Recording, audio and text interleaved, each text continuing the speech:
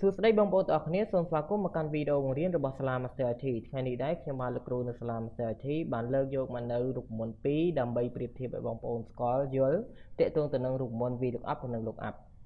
ហើយក្រោយពីបងប្អូនសិក្សារូបមន្តនេះហើយតើរូបមន្តនេះគេប្រើដើម្បីធ្វើអ្វីហើយបងប្អូនទទួលបានអត្ថប្រយោជន៍អ្វីខ្លះហើយនឹងទទួលបានលទ្ធផលបែបណានៅពេលដែលបងប្អូនប្រើប្រាស់រួចរួមជាមួយនឹងបញ្ហាបន្វាមួយចំនួនផងដែរ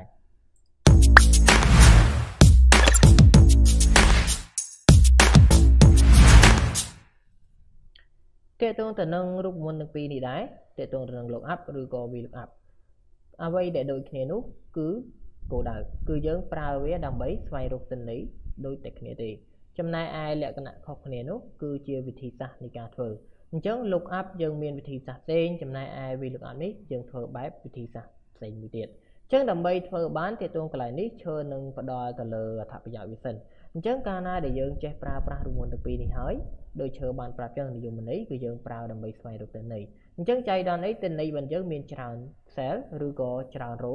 ណាជួយដែលជួយជួយយើងនឹងច្រើនអញ្ចឹងយើងពិបាកស្វែងរក scroll ចន្លងចន្លងដើម្បីរកទិន្នន័យអញ្ចឹងយើងប្រើ lookup ឬក៏ VLOOKUP នេះមកដើម្បីស្វែងរកទិន្នន័យទៅតាមជួររៀងត្រូវការឧទាហរណ៍អញ្ចឹងនៅពេលដែលឈើចង់រកឈ្មោះបុគ្គលិកម្នាក់ម្នាក់នេះអញ្ចឹងឈើមិនបាច់ចាំអីដែលចាំអីច្រើនទេចាំតែ ID ទេ បុគ្គលិកម្នាក់ណា ID ទីម៉ានទីម៉ានឈើមើលទៅលើតារាងឈើវាយចូលចេញតន័យឈើឬក៏ចេញឈ្មោះទៅតាមដែលយើងត្រូវការណាអញ្ចឹងដើម្បីធ្វើបានឥឡូវយើងអនុវត្តទាំងអស់គ្នាអញ្ចឹងវិធីសាស្ត្រនៃការធ្វើយើងចូលកន្លែង name មិនឈើយើងដាក់មកស្មើ lookup ណាហ្នឹងពេលដែលយើងប្រើ lookup មកបញ្ចេញមកគេទៀមទា lookup value អីគេ lookup value lookup value គឺជាអ្វី lookup value នឹងគឺជាតម្លៃលេខឬក៏ជា ID ហ្នឹងដែលយើងចង់ស្វែងរក មួយវិញទៀត lookup vector lookup vector នេះគឺជាទិន្នន័យដែលយើងចង់បានហើយយើងចង់រកអីគេអញ្ចឹងយើងគ្រាន់តែវាយ ID មកវានឹងបង្ហាញទិន្នន័យហ្នឹងទី2 result vector អីគេទៅ result vector មិនតាន់ដល់ទេឈើមិនតាន់បកស្រាយទៅក្នុងកន្លែងហ្នឹងទេណាចំណែកឯខាងក្រោមនេះវាចេញដូចគ្នាដែរមាន lookup value មាន array អញ្ចឹងតើតើទៅនឹង array នេះវាស្មើទៅនឹង lookup vector ទេចំណែកឯ lookup value នេះយើងស្គាល់ដូចតែគ្នាទេណាតែមួយទេ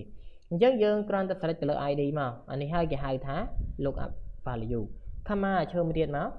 តេតងកន្លែងហ្នឹងឈើបញ្ជាក់តិចទៅ select ខាងលើតែ select ខាងលើមានបញ្ហាបងប្អូនគ្នាកន្លែង look up vector អេ look up value ហ្នឹងណាយើងត្រូវ select កន្លែងកន្លែងដែលយើងចង់ស្វែងរកនេះណាហើយបន្តទៀតយើងខមាមកចូលដល់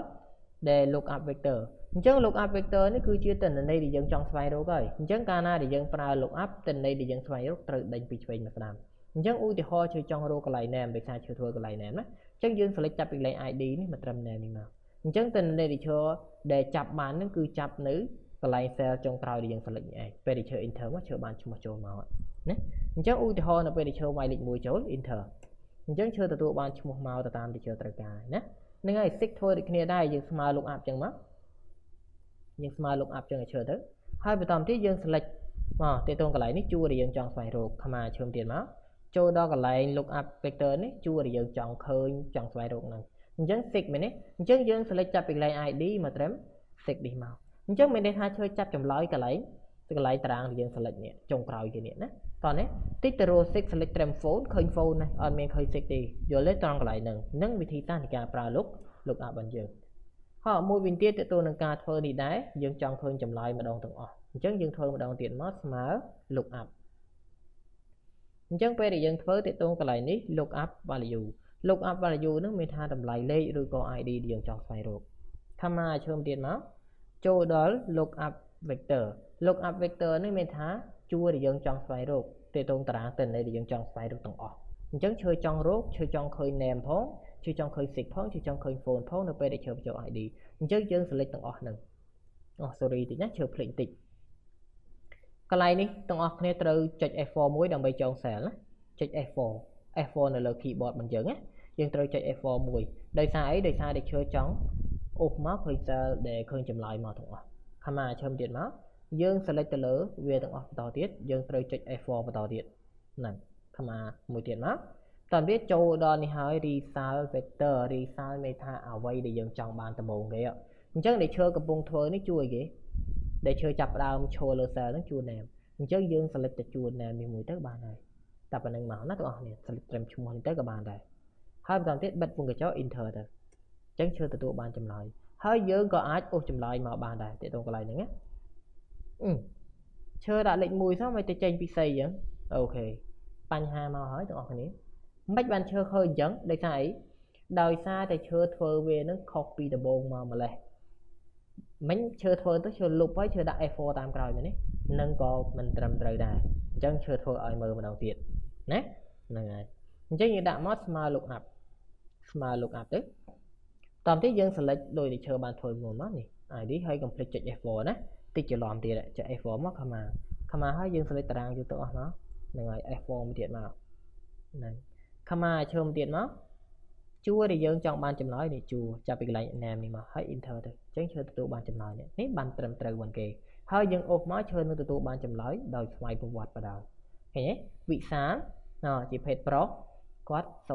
09 92លេខទូរស័ព្ទគាត់អញ្ចឹងឈើវាយលេខ3 enter មកឈើបានអ្នកលេខទី3គាត់ឈ្មោះមករាគាត់ជាភេទប្រុសហើយលេខទូរស័ព្ទគាត់015អូហើយងាយទេអូឈើវាយលេខប៉ុន្មានទៀតលេខ5 enter ចេញមកឆាយា mail 070លេខទូរស័ព្ទបានគាត់នឹងចំពោះការប្រើប្រាស់ lookup ណាឥឡូវឈើចូលមួយទៀត v lookup វិញម្ដងអញ្ចឹងវិធីសាស្ត្រនៃការធ្វើ v lookup ស្មើ v lookup មក យ៉ាអូខេពេលដែលយើងធ្វើ v lookup ចេញដូចគ្នាដែរ lookup value តម្លៃលេខឬក៏ ID ដែលយើងចង់ស្វែងរក comma ឈើមទៀតមកចូលមកដល់ table array តារាងទិន្នន័យរបស់យើងទាំងអស់ហើយយើង comma មួយទៀតទៅចូលដល់ column index number ជួឈួររៀងចង់ស្វែងរកអញ្ចឹងដែលឈើចង់ស្វែងរក name ហ៎លក្ខណៈខុសគ្នាពីមុនមកយើង select អញ្ចឹងលើកនេះយើងអត់ select នេះទេគឺយើងសរសេរលេខចូល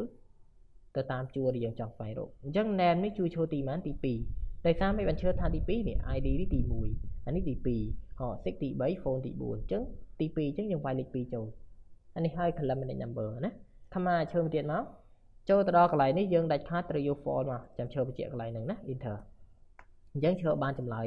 អ្នកលេខរៀងទី4ឈ្មោះគាត់កញ្ញាណាអញ្ចឹងតេតងកន្លែងនេះយើងមិនអាចអូសអញ្ចឹងទៀតទេយើងធ្វើម្ដងមួយម្ដងមួយអញ្ចឹងតេតងកន្លែងនេះគឺបែយើងចង់ធ្វើជួរណាមុនក៏បានដែរ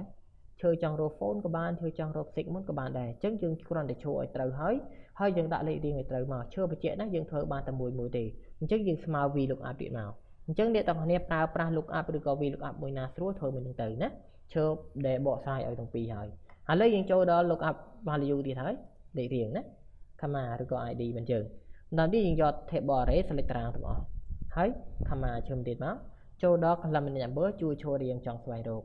ទីប៉ុន្មានដែរ six ទី3អញ្ចឹងយើងវាយលេខ3ចូល comma ឈើមទៀតមក refill មកណាហើយ enter ទៅអញ្ចឹងឈើបានចម្លើយមកដូចគ្នា female អញ្ចឹងឈើបញ្ចូលលេខប៉ុន្មានលេខ1 enter ឈ្មោះគាត់ពិសាលជាភេទប្រុសចេញមកហើយ phone យើងធ្វើដូចគ្នាអញ្ចឹងដែរទាំងអស់គ្នាណាអញ្ចឹងចាំអញ្ចឹងទាំងអស់គ្នាបានឃើញហើយគឺលក្ខណៈធ្វើគឺខុសគ្នាបែបហ្នឹងហើយមួយទៀតដែលឈើចង់ណែនាំនេះទាក់ទងកន្លែងនេះ for ឬក៏ true នេះអញ្ចឹងឈើចូលម្ដងទៀតអញ្ចឹងនៅពេលដែលឈើយក for នេះ enter មក នៅពេលដែលឈើបញ្ចូលកន្លែងនេះឈើបញ្ចូលលេខ6តោះគ្នាមើលមើលលេខ6មានទេ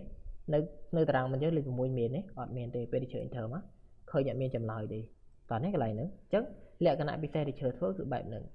បានឈើយក for លោកចុះបើឈើយក true វិញមិនវិញទៅឈើឈើយក true ខ្ញុំមើលមើលនៅពេលដែលឈើយក true វិញចាំមើលណាកាលណាដែលយើងយក true លទ្ធផលពិតទាំងអស់ហើយគឺវាចាប់ចុងក្រោយមកទាំងការពេលលេខ6គ្មានផងចាំមើលណាពេលឈើ enter ឃើញចេញឆាយាមកហើយ ដោយសារអីដោយសារឈើយក true លទ្ធផលពិតទាំងអស់អញ្ចឹងវាចេញឈ្មោះចុងក្រោយនេះវាចាប់ឈ្មោះចុងក្រោយនេះទោះលេខ100ក៏បានដែរឈើដាក់លេខ100ក៏បានដែរ enter ចេញតែឆាយាដដែលទេកន្លែងនេះអត់ចេញទេដោយសារអីដោយសារកន្លែង fix នេះឈើយកគេជា your fan អញ្ចឹងទិន្នន័យឈើមានត្រឹមលេខ5អញ្ចឹងវាចេញតែត្រឹមលេខ5នឹងឯងឧទាហរណ៍នៅពេលដែលឈើវាយលេខ5ចូល enter ចេញចំណោទតើនេះបងប្អូនអញ្ចឹងអូខេអ្វីដែលឈើចង់ណែនាំឬក៏លក្ខណៈប្រៀបធៀបទៅលើ look up ឬក៏ view up តែប៉ុណ្្នឹងឯងអញ្ចឹងសង្ឃឹមថាបងប្អូន អាចអនុវត្តបានធ្វើបានទាក់ទងនឹងចំណុចទាំងពីរហ្នឹងណាអរគុណច្រើនចំពោះការតាមដានជួបគ្នានៅវីដេអូក្រោយទៀតណាព័ត៌មានបន្ថែមនៃវគ្គសិក្សាផ្ទាល់និងវគ្គសិក្សាតាមអនឡាញសូមទំនាក់ទំនងមកកាន់លេខទូរស័ព្ទ069 966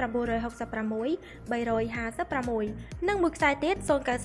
866 356ឬបងប្អូនអាចចុចទៅលើប៊ូតុង Send Message ដែលមាននៅខាងក្រោមសួរព័ត៌មាននិងចុះឈ្មោះចូលរៀនឥឡូវនេះ